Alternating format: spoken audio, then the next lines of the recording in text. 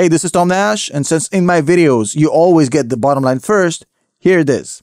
The Egyptians just came out and confirmed in no uncertain terms that the Israelis have defeated Hamas, that the Israelis have won the military campaign in Gaza, and that Hamas is finished and no longer relevant. Now, if you want to find out why that happened, and most importantly, why you won't hear about this in your mainstream media, stick around because I'm about to blow your mind.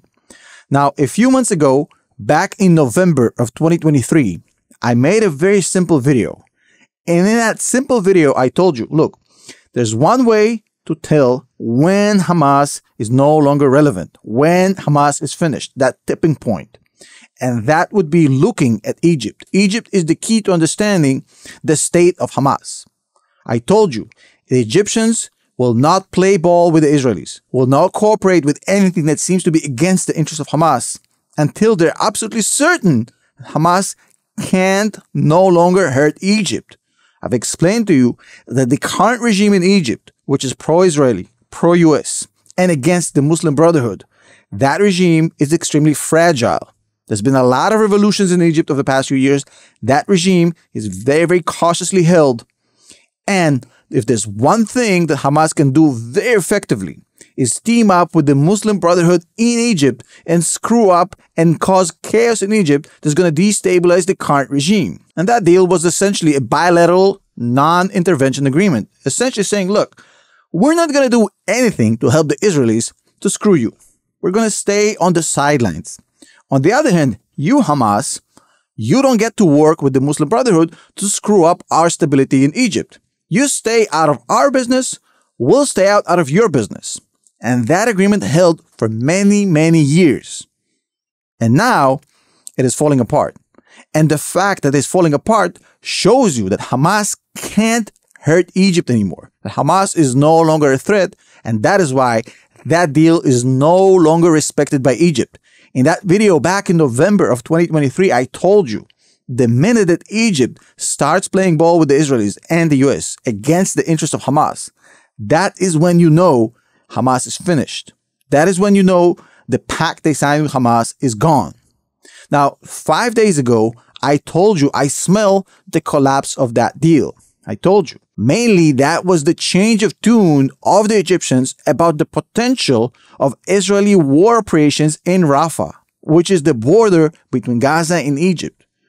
Just a few weeks ago, the Egyptians said, look, if you, the Israelis, you go into Gaza with your tanks, that is like declaring war in Egypt. We're going to freeze the peace agreements. We're going to halt everything. We're going to re examine our entire relationships. You're not going to do that. And now, just five days ago, the Egyptians completely did a full 180, saying, look, we obviously don't like it and we'll oppose it, but we're not going to change our relationships. We're not going to break the peace agreement because you do that. Now, that's a huge shift. That's a huge change. That's a full 180. And when they did that 180, which was in favor of the Israelis and completely against the interests of Hamas, that turned a light in my head, basically saying, well, Hamas no longer poses a threat. They've done what I think shows me that Hamas is finished.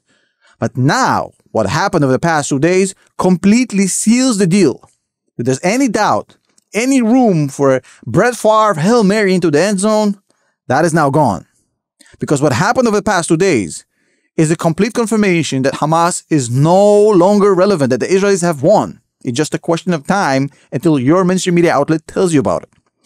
Now, look, about a day ago, a leak came out saying that the Egyptians are building camps on their side of the border to house refugees from Gaza. Now, Seemingly, that would be a huge non event. What's the problem, Tom? It's the most natural thing in the world. Why would that be a huge issue? Well, because Egypt, historically and throughout this entire war, have said they will take zero refugees on their land. The official excuse was that they don't want to participate in the displacement of Gazan civilians from Gaza to Egypt. So they don't want to help get the poor Palestinians out of Gaza and into a foreign land. That was the official explanation. The actual explanation is kind of more nuanced than that, which is number one, They definitely don't want any Muslim Brotherhood members, which is what Hamas is, in their territory, especially in Sinai, which has a lot of loss of governance issue for Egypt anyways. And number two, displacing Palestinians and helping the Israelis to displace Palestinians is a huge no-no for Hamas. That would trigger a harsh response from Hamas towards Egypt. So the fact that this leak came out was a huge warning sign that Hamas is no longer a threat. Now, the Egyptians initially declined to comment, then they completely denied it. And then, when they were presented satellite imaging showing the construction of these camps, they said, well, look, we are building them, but we're only building it as a contingency in case the mob goes through the wall, through the border. And we only have room for 100,000 people, not more. There's 2 million refugees in Gaza. The maximum we'll take is 100,000, and that's only in case they literally bust through the wall. Now, that's the word they're saying, and that's the official statement, which is there to serve the Arab narrative because nobody wants to participate in the displacement of Palestinians from Gaza to anywhere else. But the reality is quite different. You see, the reality is that if people start moving through the border in a huge mob, who is going to stop them when they get to 100,000? Is there a guy with a counter that's going to click, click, click until he gets to 100,000? If 2 million people are going at the walls, ain't nobody stopping at 100,000. So what's going on here is that Egypt is literally playing ball with the best interest of the Israelis and the US, which is to help the Israelis go into Rafah and clean up the rest of Hamas, do its mop up duty in Rafah by taking some of the civilians, probably all the civilians, temporarily into Egypt, and then once Hamas is cleared out, putting them back in Gaza. Well, something happened over the past 12 hours that seals this even more. In the past 12 hours, the Egyptian foreign minister, who's just the mouthpiece of the regime, came out and said, we don't think Hamas represents the Palestinian cause anymore. We don't think that Hamas represents the Palestinian consensus anymore. And we have a lot of questions about how Hamas got to power and stayed in power for so long. And I think the funding of Hamas needs to be investigated. Who funded these terrorist murders? So for Egypt to come out and say that proves beyond any shadow of a doubt that this thing is finished. It's done. They've completely went and did a full 180, not just collaborating with the Israelis, not just playing ball with the US, not just doing things against the interests of Hamas.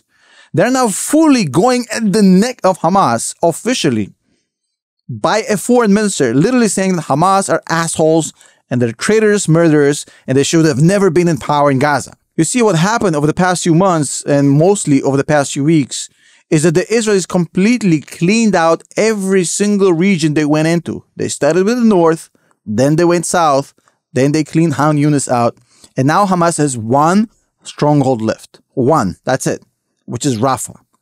Once Rafah falls, the game is over. The problem is that you have a lot of refugees that are housed in that particular region. And that makes a military operation very, very complicated. Ideally, as a military, you would like to avoid it, but the Israelis cannot. They literally can't afford not to go in there. Even if they wanted to do it, they can't. Because Rafah crossing is where the leak happened, is where all the smuggles of RPGs and the bombs and the IEDs and the AK 47s and the grenades, all of this came from Egypt through the Rafah crossing. The Israelis have to take that border and have to take the Philadelphia corridor, the Philadelphia route, which I told you about which that little strip of land between Gaza and Egypt, and close that loophole. Without closing that loophole, the entire war is meaningless for the Israelis because Hamas is going to rearm itself to the teeth. And the Egyptians are not idiots. They understand that the Israelis will go into Rafah. They have no choice in their mind. And if they're going to Rafah, they're going to do in Rafah exactly what they did in North Gaza, in South Gaza, and in Han Yunis, which is clean out Hamas. Because Hamas isn't particularly good when the people on the other side are actually shooting back. They're more equipped to handle, you know, civilians and babies and that sort of thing. So when the Egyptians figured that out, they basically said, look, now we have two choices. We can stick to the original pact we have with the Hamas, which now serves no purpose to us because these guys are dead men walking, or we can flip and help the Israelis and help the US and go with the winners.